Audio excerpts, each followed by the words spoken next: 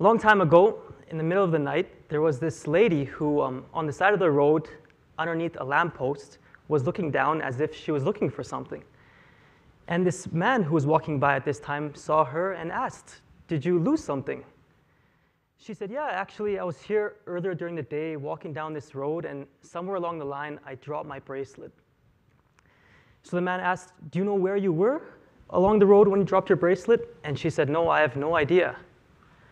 So then he asked, Then why do you keep looking in the same spot? You haven't moved at all. And she replied by saying, This is the only spot on the road that has light. Ladies and gentlemen, once again, my name is Hussein and I am a software developer. And one of the problems that we're trying to solve every day at work is how to better the communication between the business analysts and the software developers. You see, we spend so much time and energy on finding and fixing bugs in our software, and we found that the majority of the bugs are actually due to communication problems and not technical problems. You can see here this one business analyst trying to describe how this one website should look, and the, web, and the developer has a total different idea.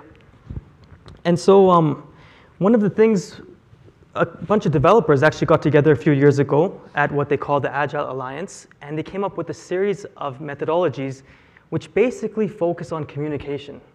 For example, they would say interactions and individuals should come before processes and tools.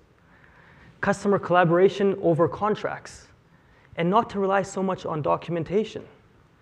So to give you an example, let's say a company spends six months just writing documentation on the software should be like this. These are the business requirements. This is the um, programming language, language we should use. These are the tools we should use. And then they spend another six months coding it up. And then after a year, they show it to their client for the first time, and the customer says, this is not what we wanted. So instead, Agile says, well, have a conversation about what you do know, develop that, have another conversation with the customer, show them what you have so far, and then keep building upon that. So in terms of communication, some research has been done as to different levels and effectiveness of communication channels. And you can see at the bottom is documentation, and with the use of technology, the effectiveness increases, but the most effective is actually face-to-face -face conversations. So I was on a project a couple years ago where we all sat together, no cubicles, no walls, and in fact, our customers actually sent representatives to sit right next to us for the whole three years of the project. And you can see how powerful this can be.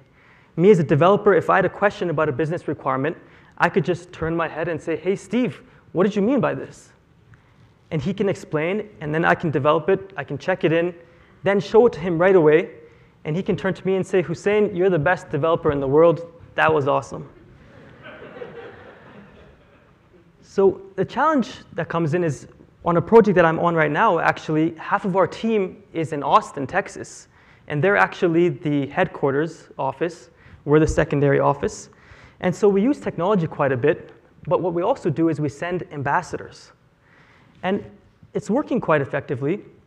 But I think the ambassadors that we have found to be the most successful are those who, when they come to our office, they actually spend the first couple weeks just listening, just learning, and focusing their energy on commonalities between the two teams.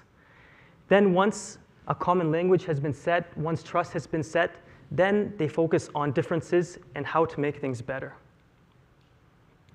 So now, I asked myself, are there other aspects of life where we can take these principles and apply them? where communication is key? Well, I think the most obvious one is personal relationships. Here we have a young couple dreaming about their future. The girl is dreaming about the two of them and their two lovely kids, and the guy is dreaming about the two of them and their three lovely friends. So here's a, here's a conversation that needs to happen now before it's too late. And I think even worse is sometimes two people in a relationship or two people in a friendship, a lot of times, sometimes they actually have, they're thinking the same thing, feeling the same thing, but they're unable to communicate it. And they end up thinking that they're disagreeing. I also think this is the reason why long distance relationships are sometimes more challenging because communication is harder. There's less face to face conversations. So, Now is here where we challenge ourselves and I ask, can we take these same principles about communication being used to actually avoid conflict in the future or avoid misunderstandings, and can we apply it at a much larger scale? What about between regions? Relationships between countries? Relationships between civilizations? And if we did see this correlation, the one relationship which I think we should take a shot at is the one we're reminded about every day when we turn on the news.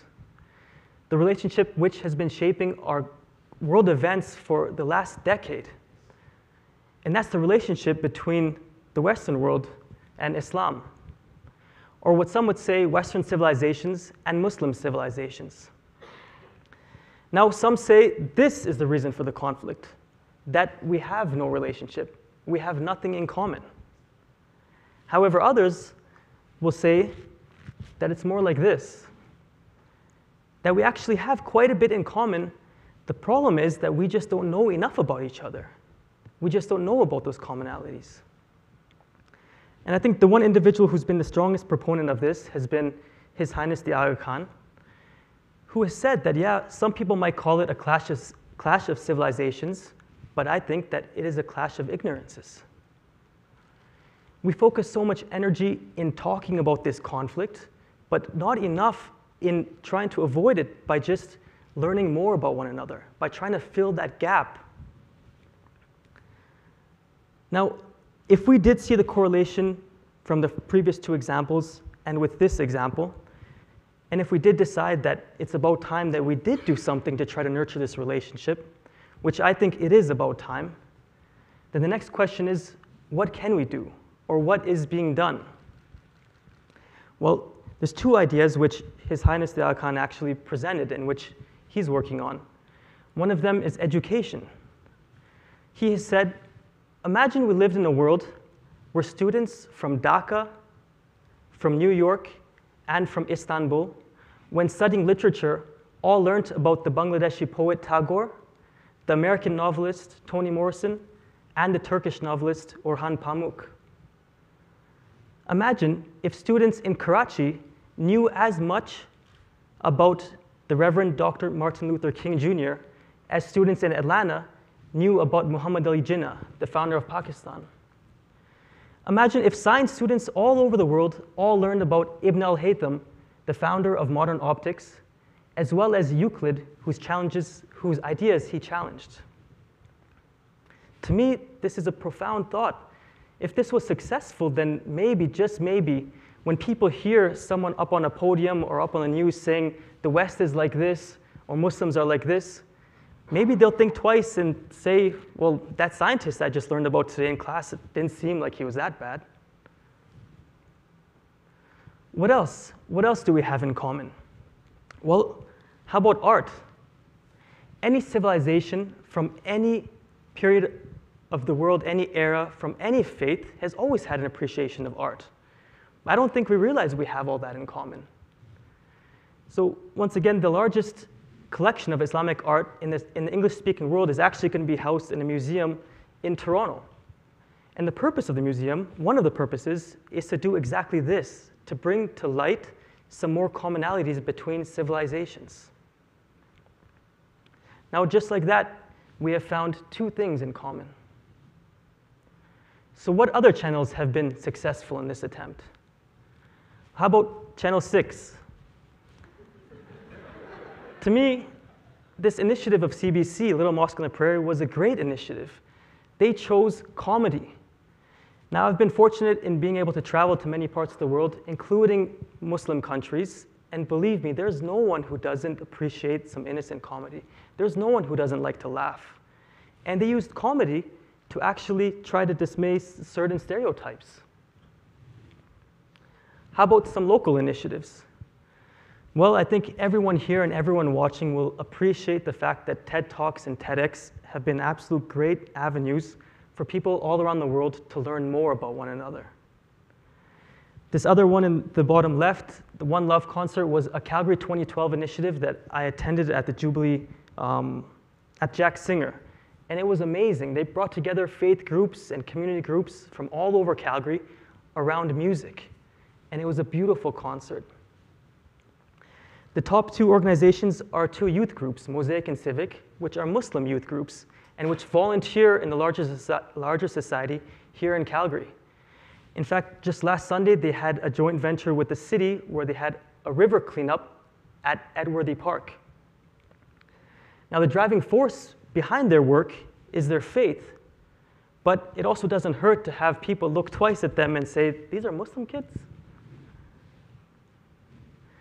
Now, if we go back to this chart, we can rely upon institutions, we can rely upon media, but the most effective is supposed to be face to face communication.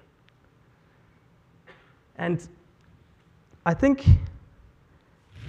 in this situation, it should be a two way conversation, but I find myself lucky in this situation where I'm born and brought up here in Canada, have a deep appreciation for Canadian values and I also happen to be Muslim. Now, see, that's the best part about the situation we're in here. This relationship that we're trying to nurture, this team that we're trying to build, is not a long distance relationship. It's not a remote team. And the reason is simple.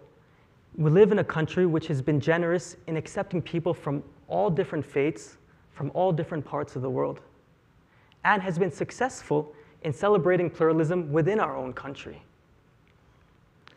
Now, I do think this is a two way conversation, but I would like to take, do my part and just take the last few minutes and tell you a little bit about what I know about Islam.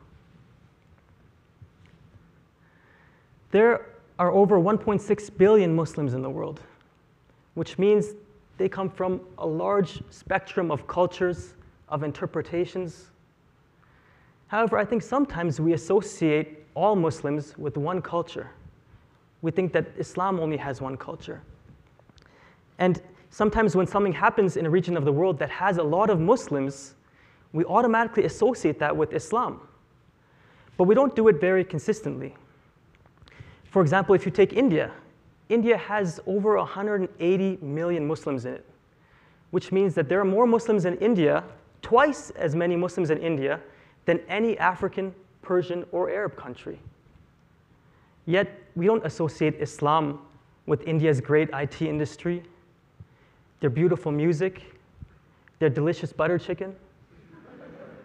We're wiser. We know that there are multiple forces at play which influence these things.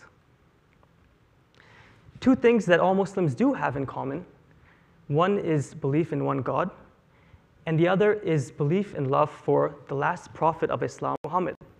Peace be upon him. And, and the reason why we say last prophet is because Islam actually believes in many prophets before him, including Abraham, Moses, and Jesus.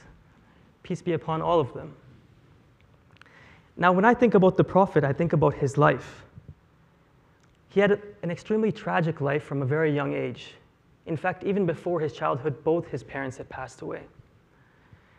Yet through all that, he always kept steadfast to his good nature and patience. In fact, he was known as Al Amin, which means the trustworthy. He was known for always being honest, always being caring, friendly, and smiling. They said you would always see him with a smile on his face. When he started to receive revelations and was asked to share them, much of his city actually turned their backs on him and his family, and they were oppressed and actually had to leave, for he was asking them to change their way of life. Now, if you ever read up about pre Islamic Arabia, there were many horrible things that were going on which the Prophet was asking them to stop. He was asking them to put aside their tribal differences and their grudges of the past and come together as one united and equal community he was asking them to give rights to women. Now, in pre Islamic Arabia, there was actually a practice where some families used to bury their newborn daughters because they only wanted sons. Not only did he ask them to stop that, he was also asking them to give rights to women. The first time of having rights of inheritance, rights to agree or disagree to marriage.